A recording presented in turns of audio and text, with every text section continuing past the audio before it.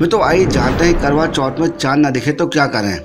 मैं तो यहाँ पर इस बात को ध्यान में अवसर रखें कि चंद्रदेव के उदय न होने के समय कम से कम एक घंटे तक उनके दर्शन का इंतज़ार करना चाहिए।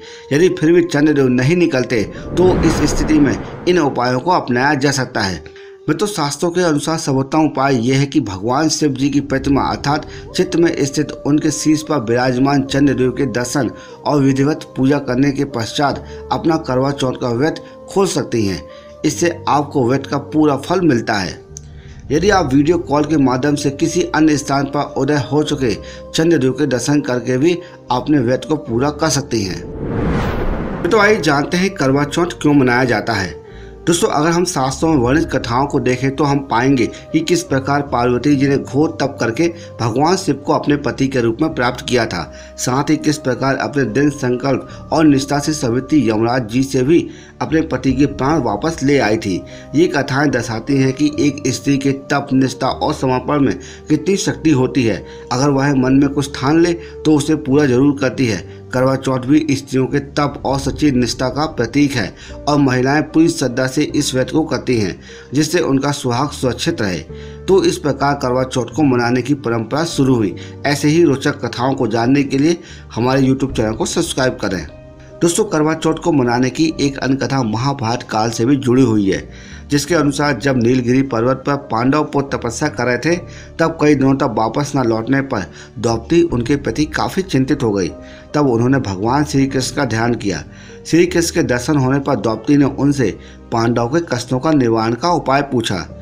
तब श्री कृष्ण बोले, द्रौपदी, मैं तुम्हारी चिंता का कान समझ सकता हूँ। तुम्हारी समस्या को दूर करने के लिए मैं तुम्हें एक उपाय बताता हूँ। कार्तिक माह की कृष्ण चतुर्थी आने वाली है।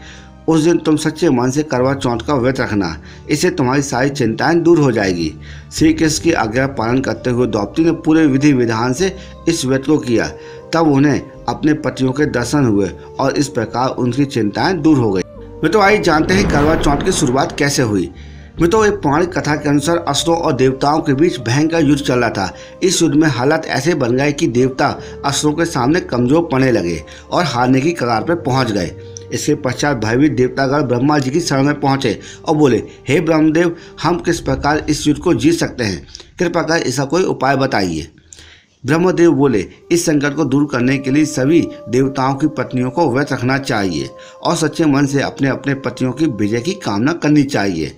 मित्रों ब्रह्मा जी के इस सुझाव को मानते हुए देवताओं की पत्नियों ने कार्तिक माह की शुक्ल पक्ष की चतुर्थी के दिन व्रत रखा और अपने अपने पतियों की जीती कामना की। तब विजय होकर देवतागण वापस लौटे। सभी पत्नियों ने आखिरकार व्रत का पालन किया। व्रत के पालन के समय आकाश में चंद्र देवता उसके साक्षी बने। माना जाता है कि तभी से करवा चौथ व्रत को रखने की परंपरा की शुरुआत हुई। तो करवा चौथ का व्रत टूट जाए तो क्या करें? आइए जानते हैं।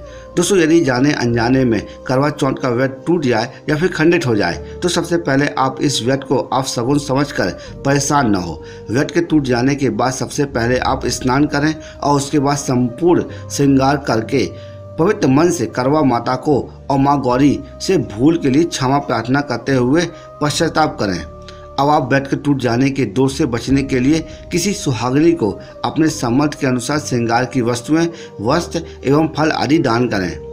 व्रत टूट जाने के बाद भी व्रत को विधिवत करते रहें और शाम के समय भगवान शिव, स्वामी कार्तिकेय, गणपति, चंद्रदेव, विधि विधान से पूजा करें।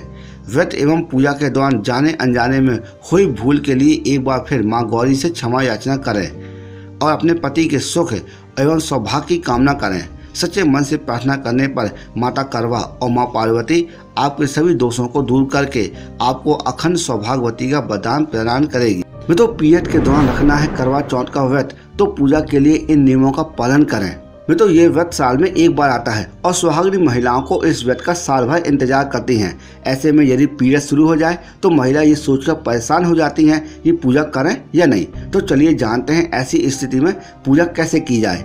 यदि करवा चौथ व्रत का पूजा पाठ के दौरान पीरियड शुरू हो जाए तो ऐसी महिलाओं को अपना व्रत पूरा करना चाहिए। इस दौरान मानसिक रूप से करवा माता की आस्था करनी चाहिए। व्रती महिलाएँ इस दिन पूजा पाठ के दौरान दूर बैठकर किसी अन्य व्यक्ति से पूजा करवा सकती हैं।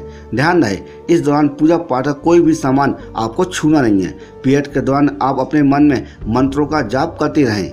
मित्रों, आप सोच रहे होंगे कि पीरियड के दौरान पूजा पाठ क्यों नहीं की जाती है? प्राचीन मान्यताओं के अनुसार कहा जाता है कि मासिक धर्म के समय महिलाओं के शरीर में ऊर्जा का संचार अधिक होता है।